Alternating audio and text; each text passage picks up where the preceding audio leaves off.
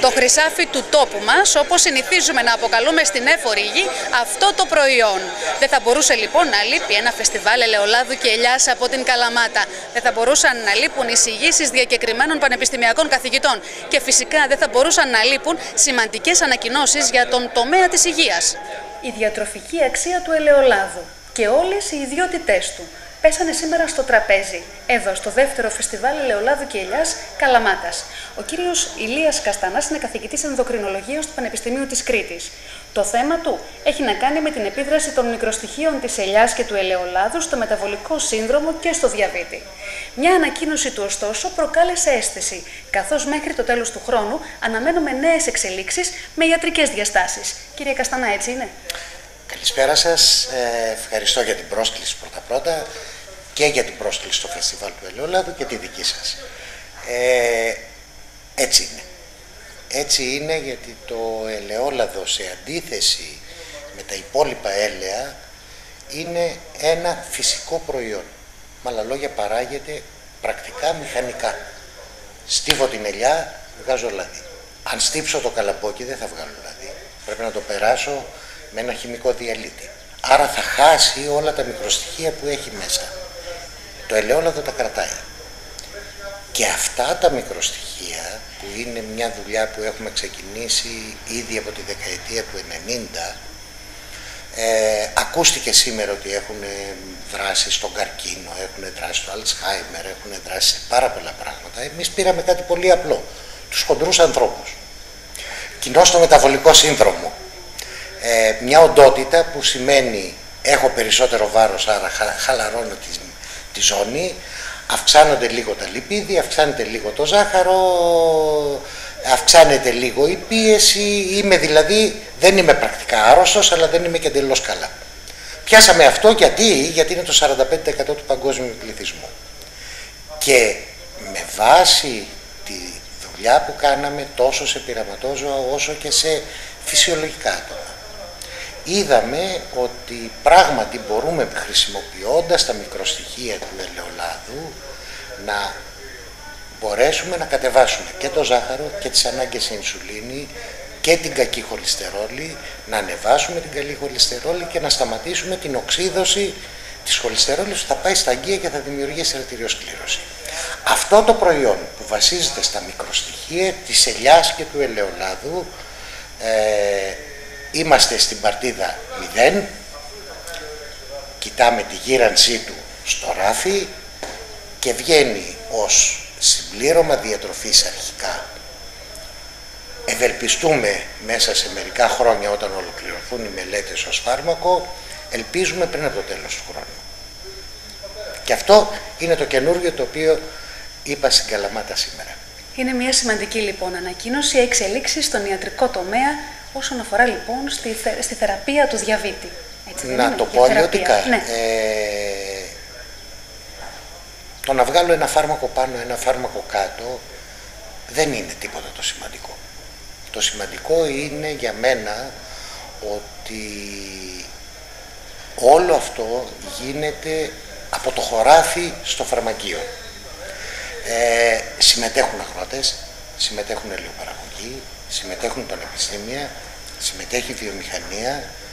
Έχουμε δείξει ότι μπορούμε να το κάνουμε και να το κάνουμε χωρίς να δημιουργηθούν προβλήματα μεταξύ μας ε, με την κυκλοφορία του κριτικού ιάματος που είναι για τη γρήπη και βγάλαμε φέτος μαζί με τους ελαιοπαραγωγούς. Και εδώ ξαναπάμε μαζί με τους ελαιοπαραγωγούς.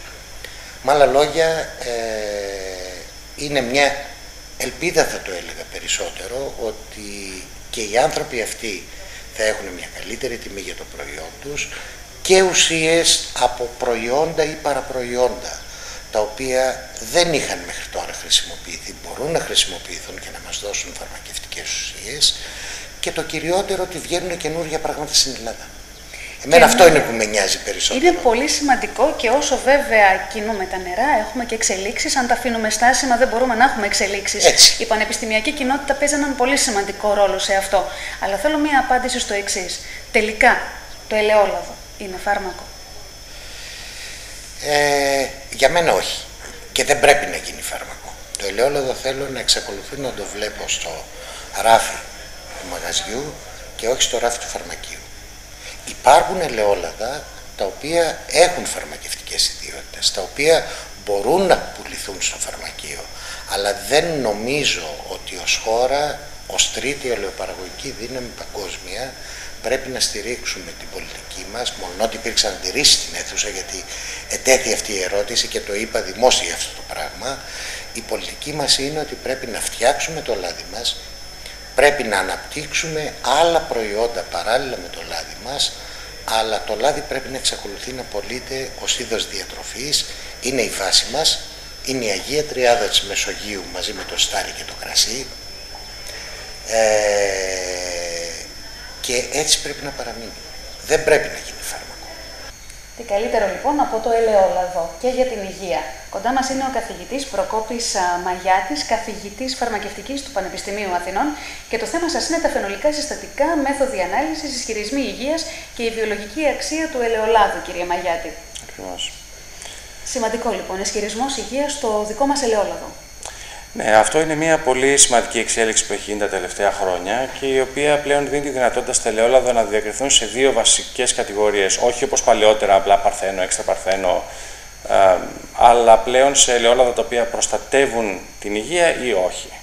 Και αυτό πλέον μπορεί να χαρακτηριστεί με χημικά μέσα, δηλαδή μπορεί κανείς με μια χημική ανάλυση να έχει ε, γνώση των χαρακτηριστικών εκείνων που κάνουν ένα λάδι να έχει ισχυρισμό υγείας ή όχι.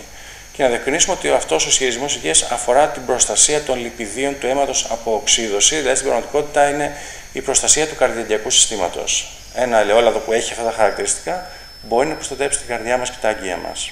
Μόνο καρδιαγιακά. Επίσημα κατοχυρωμένο σε επίπεδο Ευρωπαϊκής Ένωσης είναι η προστασία του καρδιαγιακού συστήματος.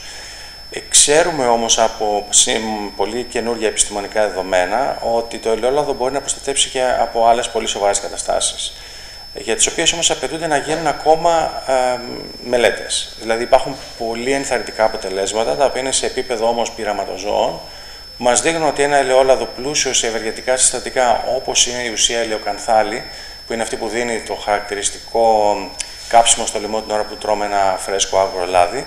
Λοιπόν, αυτή η ουσία έχει βρεθεί ότι μπορεί να προστατεύσει από την εξέλιξη τη νόσου Αλτσχάιμερ. Ή επίσης έχει βρεθεί ότι μπορεί να σκοτώσει τα καρκινικά κύτταρα πολύ πιο γρήγορα σε σχέση με οποιοδήποτε άλλο φάρμακο.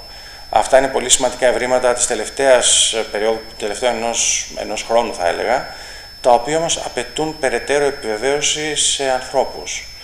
Ε, και αυτό είναι κάτι το οποίο εμείς αυτή τη στιγμή το οργανώνουμε να γίνει. Ε, υπάρχει συνεργασία μας με την ελληνική εταιρεία Alzheimer, επιστημονική εταιρεία, όπου προσπαθούμε να βρούμε τους κατάλληλους πόρους για να γίνει μια τέτοια μελέτη. Υπάρχει όλη η υποδομή και όλη η οργάνωση και είμαστε σχεδόν έτοιμοι να ξεκινήσουμε μια τέτοια μελέτη, που θα βγάλει, θα βγάλει πολύ, πολύ σημαντικά συμπεράσματα, γιατί έχουμε δει ήδη στα πειραματόζα ότι ε, σταματάει η εξέλιξη της νόσου. Είναι πάρα πολύ σημαντικό αυτό, αρκεί λοιπόν να βρεθεί χρηματοδότηση για να μπορέσει να προχωρήσει η έρευνα. Ακριβώς. Αυτό είναι κινητήριος δύναμη σε κάθε έρευνα. Αυτό που εμείς έχουμε αποδείξει είναι ότι ε, ακόμα και μικρή υποστήριξη στην έρευνα μπορεί να φέρει πολύ μεγάλα αποτελέσματα, αρκεί να γίνεται πολύ στοχευμένα. Και αυτό το έχουμε αποδείξει ήδη και στο δικό μας το εργαστήριο, δική μας ερευνητική ομάδα, με, ακόμα και με τα λίγα χρήματα τα οποία σιγά σιγά μαζεύει παρέχοντας μια υπηρεσία ανάλυσης προς τους παραγωγούς, τα χρήματα αυτά επανεπενδύονται στην έρευνα και φέρνουν πολλαπλάσια αποτελέσματα. Ε, και αυτό είναι ένα, ε, ένα, ένας νέος τρόπος λειτουργίας της έρευνας στην εποχή της κρίσης. Δηλαδή, με λίγα χρήματα να προσπαθούμε να φέρουμε πολύ μεγάλα αποτελέσματα. Ε, προσπαθούμε γι' αυτό και πιστεύω σε μεγάλο βαθμό το έχουμε πετύχει. Προσαρμοζόμαστε λοιπόν στα οικονομικά δεδομένα του σήμερα, ωστόσο και μόνο το γεγονός πως μπορεί από το ελαιόλαδο να προκύψει μία θεραπεία τόσο για τον καρκίνο όσο και για την νόσο Αλσχάιμερ είναι πολύ σημαντικό και θα πρέπει να αποτελέσει πρόκληση για τους επενδυτές. Ακριβώς και πρέπει να τονίσουμε ότι αν γυρίσουμε πίσω στη δεκαετία του 1960 και του 1970, όπου το ελαιόλαδο αποτελούσε σχεδόν την αποκλειστική ε, μορφή με την οποία οι άνθρωποι στην Ελλάδα κατανάλωναν λίπος, δεν υπήρχε σημαντική κατανάλωση από άλλες μορφές λίπους. Εκείνη λοιπόν την εποχή που υπήρχε άφθονη πρόσληψη αυτών των ευεργετικών συστατικών, όλες οι επιδημιολογικές μελέτες που είχαν γίνει από σοβαρές, πολύ σοβαρές ομάδες του εξωτερικού είχαν αποδείξει ότι στην Ελλάδα, εκτός από μειωμένες καρδιαγιακέ παθήσεις, υπήρχε πολύ μικρότερη πιθανότητα εμφάνισης συγκεκριμένων μορφών καρκίνου και πολύ μικρότερη πιθανότητα εμφάνισης νευροεκφυλιστικών παθήσεων. Κάτι που το γνωρίζουμε και εμείς εμπειρικά, αν ανατρέξουμε στα χωριά της ελληνικής επαρχίας, όπου οι άνθρωποι καταναλώνουν το δικό τους λάδι, που παράγουν οι ίδιοι δηλαδή, όπου εκεί πραγματικά βλέπουμε ότι είναι πολύ μικρότερη πιθανότητα εμφάνισης αυτών των νόσων. Αυτό λοιπόν πρέπει όμως να το αποδείξουμε με πολύ ε, στιβαρά κλινικά στοιχεία. Και αυτό είναι κάτι που σίγουρα θα γίνει τα επόμενα χρόνια και πιστεύω ότι όταν επιβεβαιωθούν αυτά τα δεδομένα, ε, τότε θα αλλάξει τελείως ο τρόπος που αντιμετωπίζουμε το ελαιόλαδο και θα αυξηθεί δραματικά η αξία του. Είναι ένα, είναι ένα στοιχείο το οποίο μπορεί να ανατρέψει τελείως ε, την οικονομία της ε, ελληνικής αγροτικής παραγωγής. Πρόκληση δεν πρέπει να αποτελεί ένα τέτοιο ενδεχόμενο μόνο για τους επιστήμονες, θα πρέπει να αποτελεί και για όλους εκείνους που θέλουν να επενδύσουν με κέντρο, με επίκεντρο και την υγεία. Μια ιδιαίτερα ενδιαφέρουσα μελέτη παρουσίασε εκ μέρους της κυρίας Αντωνίας Τριχοπούλου η συνεργάτη δάτης Μαρία Κριτικού. Οι κατηγορίε τώρα των προστιθέμενων λοιπόν και ελαίων στο πρόγραμμα ήταν το ελαιόλαδο, άλλα φυτικά έλαια, μαργαρίνη, βούτυρο και μαγειρικά λίπη. Μέσω αναδυόμενων παραθύρων καταγράφονται διάφορα επίπεδα επιπρόσθετης πληροφορίας. Στην περίπτωση των λοιπόν και των ελαίων, η συλλεγόμενη επιπρόσθετη πληροφορία αφορά τη μέθοδο μαγειρέματος, το υλικό συσκευασίας, την εμπορική ονομασία, την περιοχή προέλευσης, τον τρόπο καλλιέργειας, την περιεκτικότητα σε αλάτι, περιεκτικότητα σε λίπος, εμπλουτισμός, πρόσθετο χαρακτηριστικό, προέλευση. Ε, τα προκαταρκτικά αποτελέσματα της μελέτης σχετικά με, τα, με τη χρήση προστιθέμενων λίπων και ελαίων κατά το μαγείρεμα. Στο διάγραμμα αυτό βλέπουμε ότι σε όλες τις κατηγορίες το, κύριο, το κυρίαρχο στοιχείο είναι το ελαιόλαδο. Ε, ακολουθεί αμέσως μετά η μαργαρίνη. Το υψηλό ποσοστό της μαργαρίνης στα ψητά εμπεριέχει μέσα και τα γλυκά τα οποία ψήθηκαν στο φούρνο και στα τηγανιτά το 17% είναι γιατί ήταν απροσδιόριστο. Ο συμμετέχοντας συνήθως είχε φάει εκτός σπιτιού και δεν ήξερε να προσδιορίσει το είδος του λιπιδίου. Τα γενικότερα συμπεράσματα, η κατανάλωση φορελαίων περιορίζεται μόνο στην παρασκευή τηγανιτών φαγητών και μάλιστα σε χαμηλά, ε, χαμηλό ποσοστό. Δηλώνεται σχετικά συχνά η χρήση μαργαρίνης. Το βούτυρο χρησιμοποιείται σε μικρό ποσοστό στα ψητά στο φούρνο ε, και τα στοιχεία αυτά αναφέρονται στη χρήση προστεθέμενων λοιπόν και ελαίων κατά το μαγείρεμα και όχι στη γενική κατανάλωση του πληθυσμού της Ελλάδας. Πάμε όμως να θυμηθούμε τα όσα αναφέρθηκαν στην πρώτη μέρα του φεστιβάλ, καθώς ο κύριος Κασίμης, ο Χαράλαμπος Κασίμης, Γενικός Γραμματέας Κοινοτικών Φόρων, τόνισε πως το επόμενο διάστημα η ζήτηση των αγροτικών προϊόντων θα αυξηθεί κατά 50%. Στρατηγικός στόχος όμως θα πρέπει σε κάθε περίπτωση να είναι η ποιότητα και η τοπικότητα των προϊόντων μας. Τα επόμενα χρόνια αναμένεται η αύξηση της ζήτησης σε αγροτικά προϊόντα κατά 50%, ειδικότερα δε η αύξηση της ζήτησης σε προϊόντα ποιότητας και ταυτότητας θα είναι αντίστοιχου μεγέθους. Δηλαδή είμαστε μπροστά σε μια δυναμική αγορά την οποία πρέπει να κατανοήσουμε ότι πρέπει να στοχεύσουμε. Αναμένεται λοιπόν η ενίσχυση αυτής της αγοράς. Ποιας αγοράς; Αγοράς η οποία χαρακτηρίζεται από πολύ υψηλότερες τιμές. Και γιατί, γιατί αυτές είναι αγορές οι οποίες πραγματικά, ειδικά για τα ελληνικά προϊόντα, μπορούν να πληρώσουν περισσότερο. Αυτό είναι το στρατηγικό μοντέλο στο οποίο πρέπει να κατευθυνθούμε. Είναι μοντέλο που ταιριάζει περισσότερο στις γεωμορφολογικές συνθήκες της χώρας, αλλά και στους ίδιους διαφορετικούς περιορισμούς που έχουμε. Υπό ποιες όμως προϋποθέσεις; Υπό προϋποθέσεις που θα διασφαλίζουν αυτό το που εσείς αναφέρατε νωρίτερα, συνθήκες συλλογικής οργάνωσης της παραγωγής, συλλογικής πρόσβασης στις αγορές, συλλογικής προσπάθειας ενίσχυσης της προστιθέμενης αξίας που θα παράγουμε σε αυτά τα προϊόντα. Με ιδιαίτερα σκληρή γλώσσα μίλησε η εμπειρογνώμονας της Ευρωπαϊκής Ένωσης και μέλος του Διεθνούς Συμβουλίου Ελαιοκομείας Έφη Χριστοπούλου όσον αφορά στην ποιότητα του ελαιολάδου. Πρέπει να εξασφαλίσουμε όλα εκείνα τα χαρακτηριστικά, είπε, που απαιτείται για να έχουμε έξτρα παρθένο ελαιόλαδο. Γιατί δυστυχώς πολλά από τα ελαιόλαδά μας βγαίνουν στις αγορές με χαρακτηριστικά χαμηλότερα της κατηγορίας τους. Μίλησε και για το θέμα της νοθείας όμως. Έχω μάθει ότι και εδώ πέρα στην περιοχή σας υπάρχουν κάποιοι που πάνε προς αυτή τη διαδικασία και κάνουν αποσμίσεις. Όπως καταλαβαίνετε η απόσμηση είναι μία νοθεία. Έτσι. και δεν θα έπρεπε να την υιοθετούμε σαν πρακτική και να την επιτρέπουμε. Γι' αυτό το θέμα της απόσμησης έχουμε αφιερώσει άπειρες ώρες και στο Διεθνές Συμβούλιο Ελλάδου στη Μαδρίτη και στις Βρυξέλλες και στα εργαστηριά μας για να μπορέσουμε να βρούμε κάποιες μεθόδους που να μπορέσουμε να, να προσδιορίσουμε αυτά τα αποσμημένα. Είναι δύσκολο γιατί γενικώς οι, οι τεχνικές της απόσμησης βελτιώνονται. Νομίζω ότι έχουμε φτάσει τώρα σε τέταρτη γενιά απόσμησης που όσο να προσπαθούμε εμείς να καταπολεμήσουμε αυτό και να βρούμε μεθόδους για να, να βρούμε τα αποσμημένα, όσα αλλάζουν οι τεχνικές, τόσο μας δυσκολεύουν. Είπαμε, οι μισοί χημικοί δουλεύουν για να καταπολεμήσουν την οφία και οι άλλοι μισοί για να τη φτιάξουν την οφία. Αυτό γίνεται. Οι καταναλώτριες χώρες πόσους ελέγχους κάνανε, συν 41%. Δηλαδή, αυτές οι χώρες που δεν είναι ελαιοπαραγωγικές, κάνουν, πολύ περισσότερους ελέγχους στη χώρα, στις χώρες τους και καταλαβαίνετε τι σημαίνει εμείς που είμαστε ελαιοπαραγωγικοί αυτό να αφήσουμε λιγάκι τα πολλά πολλά να λέμε πω πω το λάδι μας τι είναι, τι είναι το καλύτερο του κόσμου. Δεν είναι το καλύτερο του κόσμου. Ας κοιτάξουμε να δούμε να είμαστε εντός της κατηγορίας του, αυτό θα ήταν το ζητούμενο. Γιατί και πάρα πολλά λάδια δικά μας δεν είναι εξαιρετικά παρθένα. Βγαίνουν έξω και βγαίνουν με κάποια, κάτω, με κάποια χαρακτηριστικά κάτω από την κατηγορία τους.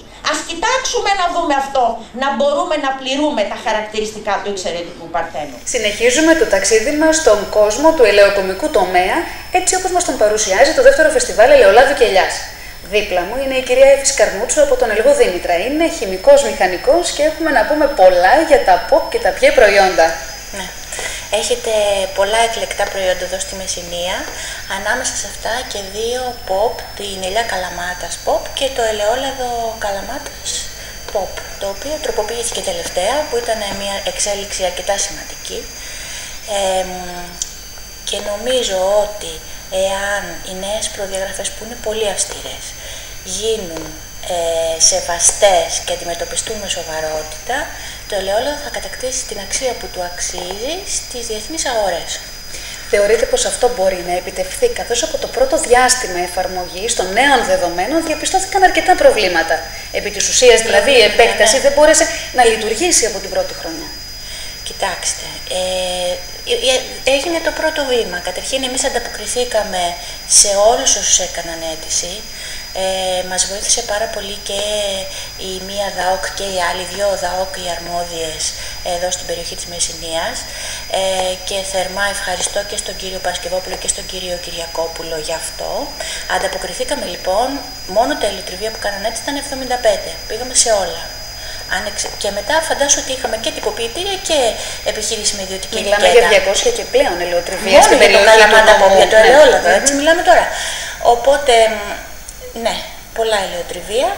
Ε, τώρα δεν είναι πιστοποίηση για όλους, είναι μόνο για αυτούς που μπορούν και για αυτούς που θέλουν. Δεν πιέζουμε κανέναν, άλλοι ήταν έτοιμοι από φέτος, άλλοι τους περιμένουμε του χρόνου όταν ετοιμαστούν, άλλοι αποφάσισαν ότι ίσως να μην κάνει για αυτούς μια...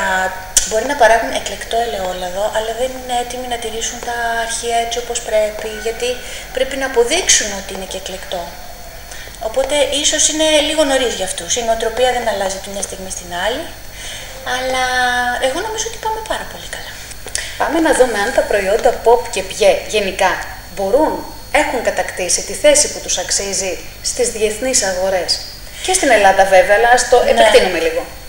Ε, το Καλαμάτα Pop καταρχήν από μόνο του έχει ένα φημισμένο όνομα. Το γνωρίζουν παντού. Ε, άρα έχει ένα επιπλέον ατού.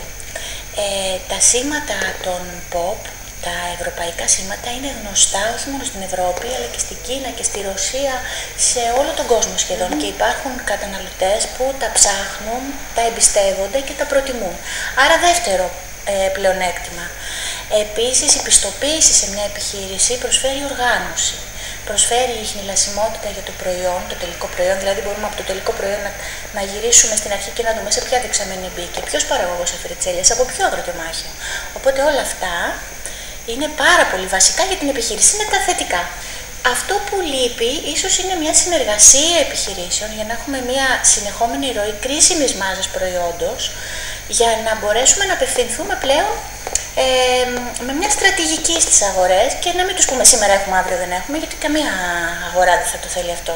Εκεί λοιπόν μπορεί να παίξουν ρόλο οι συνεταιρισμοί, ε, μπορεί να παίξουν ρόλο ε, οι συνεργασίες όλων των ενδιαφερόμενων, γιατί μόνο έτσι μπορούμε να βγούμε προς τα έξω. Θα βοηθούσε ενδεχομένως η δημιουργία κάποιων φορέων διαχείρισης των προϊόντων pop. Ναι, μπορούσε να βοηθήσει και γενικά εάν μπορούσατε ε, και εδώ στη Μεσσηνία να συνεργαστείτε από τον εστιατόρα, από τον άνθρωπο που έχει ένα ξενοδοχείο ε, και προσφέρει στο, ένα πρωινό ή ένα γεύμα και βάλει στο τραπέζι του τουρίστα ένα τυποποιημένο ελαιόλαδο με ένδειξη επάνω και με εμπορική ονομασία, ο τουρίστας που θα μείνει ευχαριστημένος θα γυρίσει και θα ψάξει. Ποιος ήταν αυτός που το συσκεύασε, ποιος ήταν ο παραγωγός, τι ωραίο λάδι ήταν αυτό. Δεν είναι δηλαδή- όμως μόνο στο λάδι, δεν είναι μόνο το λάδι. Έχουμε πολλά προϊόντα pop. Έχουμε 103. Έχουμε 103 προϊόντα pop, ε, έχουμε τον κρόκο κοζάνη, τη μαστίχα χίου, φάβα σαντορίνης, αυγοτάρχο μεσολογγίου, είναι πολύ μεγάλη η γκάμα, έχουμε πάρα πολλά τυριά και φυσικά και τη φέτα. Ε, και ο κάθε, το κάθε ένα έχει μια ξεχωριστή προδιαγραφή και μια ξεχωριστή ποιότητα.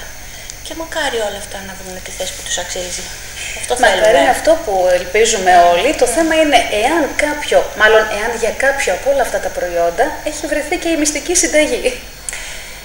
Η συνταγή της πρόθεσης Υπάρχουν επιχειρήσεις που ασχολήθηκαν σοβαρά με το να ε, και να, να έχουν ε, μία ε, πορεία που το ίδιο τους το προϊόν να διαφημίζει τη δουλειά τους και στο εξωτερικό και στο εσωτερικό, οπότε από μόνες τους είναι μια διαφήμιση, εξαρτάται και από τον κάθε επιχειρηματία χωριστά.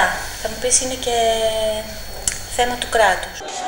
Πάνω από 30 εκθέτες από την ευρύτερη περιοχή της Πελοποννήσου, την Κρήτη και άλλες περιοχές της Ελλάδος βρίσκονται εδώ στον εκθεσιακό χώρο του χώρου που φιλοξενεί το δεύτερο φεστιβάλ Ελαιολάδου και Ελιάς. Μπορούμε να δούμε πολλά πράγματα από την τυποποίηση, από τα μηχανήματα ελαιοτριβίων, από τις ετικέτες και τις συσκευασίες. Φτάνουμε μέχρι την προώθηση του προϊόντος. Ένα προϊόν το οποίο ξεκινώντας από το χωράφι μέχρι να φτάσει στο ράφι της Ελλάδας και του εξωτερικού έχει πολλά στάδια να διανύσει και πολλές τάσεις να κάνει. Το ελαιόλαδο, το οποίο στη συνέχεια θα τυποποιηθεί και θα προωθηθεί στις αγορές, πρέπει απαραίτητα αυτό να περάσει από το ελαιοτριβείο. Το ελαιοτριβείο απαιτεί να έχει σήμερα σύγχρονα μηχανήματα και η Γεία Βεστφάλια έχει να μας πει πολλά για αυτά. Είσαστε λοιπόν ο κύριος Σταύρος Φιτσαλά. Διευθύνων μας... Σύμβουλος της Γκέα Βεσφάλειας Απαραίτητο Ελλάς. Θα θέλαμε λοιπόν να μας πείτε εσείς πώς βλέπετε σήμερα την όλη κατάσταση, εάν υπάρχει επένδυση, εάν εξυγχρονίζουν τις μονάδες του οι ελαιοτριβεί. Για να υπάρξει επένδυση πρέπει να υπάρχουν επενδυτικά προγράμματα που σήμερα δεν είναι διαθέσιμα. Ε, είναι μεγάλο το κόστος της επένδυσης και χωρίς ε, αυτή την υποστήριξη είναι λίγες οι επενδύσεις στο χώρο. Παρ' όλα αυτά υπάρχουν κάποια μεγάλα ελεουργία που μπορούν να κάνουν μια επένδυση, μια αναβάθμιση του εξοπλισμού τους ε, χωρίς την υποστήριξη της ευρωπαϊκής κοινότητας και της χώρας μας. Το μέγεθος ε, και ο αριθμός των επενδυτικών προγραμμάτων βέβαια είναι πάρα πολύ μικρός χωρίς ένα επενδυτικό πρόγραμμα των ευρωπαϊκών κοινοτήτων.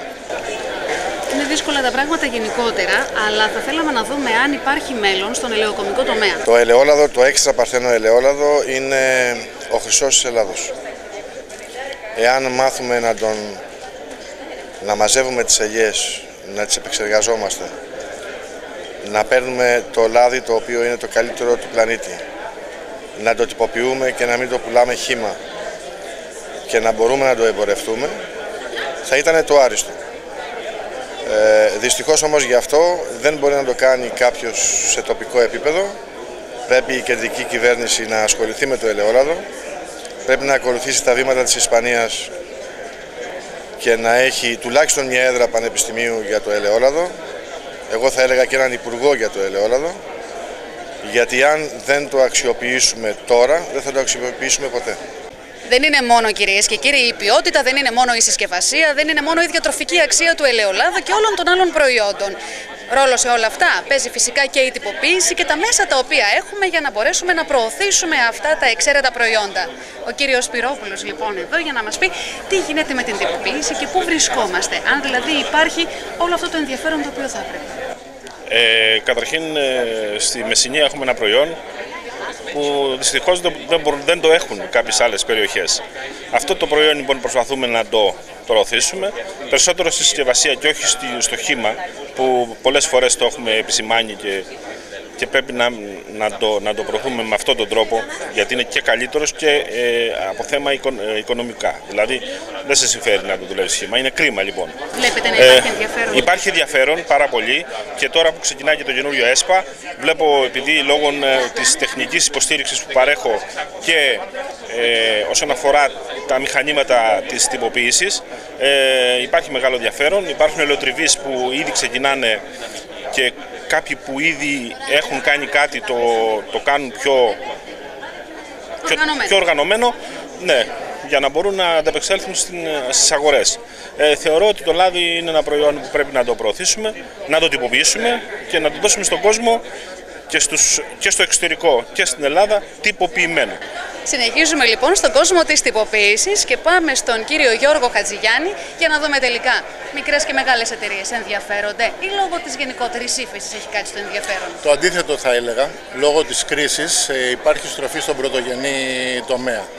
Ε, το σωστό βέβαια θα ήταν αυτή, αυτό το ενδιαφέρον να είναι στοχευμένο τόσο με γνώσεις πάνω στο ελαιόλαδο, τεχνογνωσία ελαιόλαδου, όσο και γνώση στις αγορές. Εμείς από τη δικιά μας την πλευρά ε, προσπαθούμε να διαβάσουμε τις ανάγκες του κάθε υποψήφιου πελάτη τυποποιητή, να δώσουμε τα μηχανήματα που αντιστοιχούν στο πλάνο του και επίσης να τον ενημερώσουμε με θέματα τεχνογνωσίας ελαιολάδου και στρατηγικής, τα οποία ενδεχομένως μπορεί να του διαφεύγουν.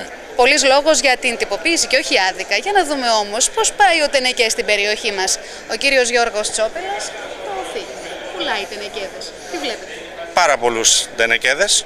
Ε, κάθε χρόνο η ζήτηση είναι ε, αυξανόμενη. Όλο και περισσότερα δοχεία ε, πολλούνται ε, στη Μεσσηνία και στους γύρω νομούς.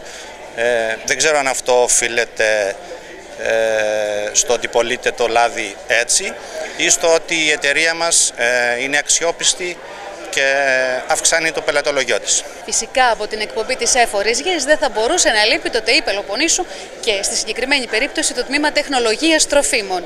Τυποποιούν το δικό τους ελαιόλαδο. Αυτό εδώ είναι η πρώτη επαφή των μελλοντικών τεχνολόγων τροφίμων με τη γραμμή παραγωγής για την ελιά και για το λάδι στο συγκεκριμένο. Είναι εξοπλισμένα τα εργαστήριά μας με πρέσ, ελαιόπρεσα η οποία δείχνει στο φοιτητή όλη τη γραμμή παραγωγής για να γίνει ελιά λάδι. Όπως και υπάρχει και ελιά που μαθαίνει ο φοιτητής το διαχωρισμό των διάφορων μεγέθων της ελιάς καλαμών, η χάραξη, η ξεπίκρινση, είναι να έχουν οι φοιτητές μία γνώση πριν βγουν στην αγορά εργασίας. Πόσο πολύ σας βοηθάει όλη αυτή η άμεση επαφή που έχετε με την παραγωγή του ελαιολάδου και την τυποποίηση της ελιάς; Είναι μεγάλη μόνο η ευκαιρία που υπάρχει στο εργαστήριο να μάθει ο φοιτητής το τι γίνεται σε μια γραμμή παραγωγής, μετέπειτα στην πορεία του, στην επαγγελματική σταδιοδρομία του, όταν θα χρειαστεί να μπει σε μια εταιρεία θα έχει μια, μια πρώτη γνώση. Καλλιέργειες μικρής παραγωγής, αλλά με μεγάλη μελέτη να έχει προηγηθεί και με την αισιοδοξία για ένα μεγάλο μέλλον. Ο κύριος Νίκος Κρυμιανιώτης παράγει το ελαιόλαδο Λίβα. Αριοχώρη Μεσσηνίας. Ε, αριοχώρη Μεσσηνίας. Πείτε μας λοιπόν, μια διαφορετική προσπάθεια πόσα συναντάμε συχνά; Ε, είναι καταρχήν ε, βιολογικής καλλιέργειας, ε, περίπου εδώ και 15 χρόνια που ασχολούμαι με τη βιολογική καλλιέργεια. Αλλά εκείνο που είδα και συνεργασία με το Φαρμακευτική Σχολή του Πανεπιστημίου Αθηνών, εδώ και δύο χρόνια που κάνουν διάφορα πειράματα, ε, κατέταξα τα ελαιόδεντρα που είναι περίπου 70 στρέμματα στο αμόλοφο του αριοχωρίου σε κλάσεις, σε ομάδες δέντρων ανάλογα με τα φαινολικά χαρακτηριστικά που έχουν. Έτσι λοιπόν ε, φέτος έχουμε φτάσει στο σημείο να έχουμε μία από τις δεξαμενές του ελαιολάδου περίπου γύρω στους 2,5 τόνους που έχουν ε, φενόλες 1582 μιλιγκράμμ ανά κιλό. Τι σημαίνει αυτό το πράγμα; η Ευρωπαϊκή Ένωση λέει ότι ένα λάδι για να φέρει χαρακτηρισμό υγείας, δηλαδή ότι είναι καρδιοπροστατευτικό, που το γράφουμε και εδώ πέρα cardio protective, ε, αρκεί να έχει 250 μιλιγκράμμ συγκέντρωση πολυφενόλες ανά κιλό. Το δικό μου λοιπόν που είναι 1582 η μία δεξαμενή σημαίνει ότι είναι 6,3 φορές πάνω από το όριο που βάζει η Ευρωπαϊκή Ένωση. Άρα όταν λέει η Ευρωπαϊκή Ένωση ότι για ένα λάδι που έχει 250 μιλιγκράμμ ανά κιλό αρκεί να, πιούμε, να πίνουμε κάθε μέρα 20 ml, 20 ml ε, για καρδιοπροστασία, με αυτό εδώ πέρα μπορείς με μια κουταλιά του γλυκού να έχεις την ίδια καρδιοπροστασία. Και φυσικά για να φτάσουμε στην τυποποίηση και πρόθεση του ελαιολάδου μας, θα πρέπει να έχει προηγηθεί το ελαιομάζωμα. Στο ελαιομάζωμα είναι απαραίτητα σύγχρονα εργαλεία σήμερα. Δίπλα μας είναι η Ιωάννα Γεωργακοπούλου. Για να δούμε λοιπόν, Ιωάννα, ο κόσμος σήμερα οι παραγωγοί χρησιμοποιούν σύγχρονα εργαλεία. Φυσικά και θέλουν συνεχώς να πληροφορούνται για τα νεότερα της τεχνολογίας για να μπορούν και αυτοί με τη σειρά τους να ανταποκρίνονται στις εργασίες τους.